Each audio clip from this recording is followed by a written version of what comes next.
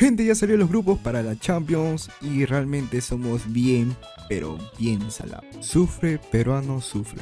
Realmente, si no lo sufrimos no vale. ¿Por qué? Mira, empezamos por los peruanos. Gustavo Lanto del Sheriff. Grupo D, encabezado por el Inter. Después le sigue Real Madrid, el Shakhtar Tardones y el Sheriff. Yo solo espero que el Sheriff, aunque sea vaya a Euro. Hay que ser realistas. No le va a ganar a Real Madrid, el Inter. Y si lo gana, es wow. Las apuestas revientan. También recordemos que Shakhtar Donetsk sorprendió, ganó hasta Real Madrid. Ya en los partidos veremos a Blanto marcando a Hazard, marcando a Lautaro, marcando a, a Benzema, marcando a, a Checo realmente. Tiene dos grandes ahí. Y bueno, por otra parte, el grupo H, encabezado por Chelsea, Juventus, Zenit y el Malmo de Sergio Peña. Un equipo que mmm, no se sabe realmente.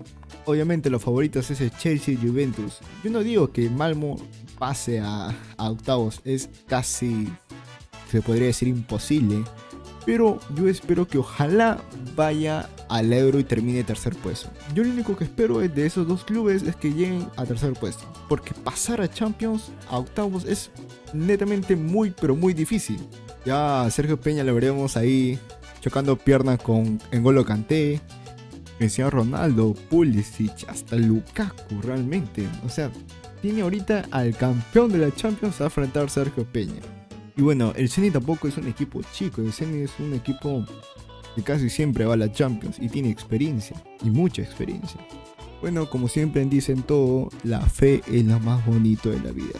También vamos a dar los demás grupos, el grupo A encabezado por Manchester City, luego sigue el PSG, Leipzig y Brujas wow, un tremendo grupo realmente, yo lo consideraría el grupo de la muerte, porque tienes al City, al PSG, al Leipzig, que Leipzig tampoco no es cualquier cosa, y al Brujas. Wow. Después vamos al grupo B encabezado por Atlético Madrid, Liverpool, el Porto que eliminó a la Juventus y el AC Milan, otro grupo, pero yo pienso que este es más mortal realmente.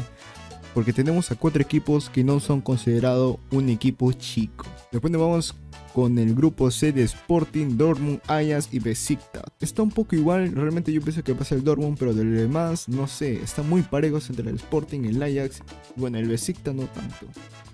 Y el grupo D que ya dije, el grupo E encabezado por Bayern Múnich, el Barcelona, el Benfica y el Dinamo Kiev. Obviamente los favoritos es el Bayern, el Barcelona, el Benfica no tanto, pero tampoco hay que subestimarlo.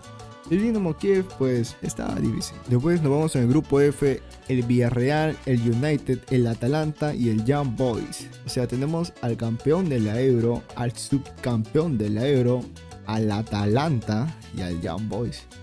El grupo G de Lille, Sevilla, Salzburgo y Wolfsburgo. Bueno, ahí no hay tanto que comentar. Y bueno, el grupo H, que es de nuestro compatriota Sergio Peña, la cual Dios lo acompañe. No se olviden darle like al video y suscribirse para estar al tanto de las noticias con Food.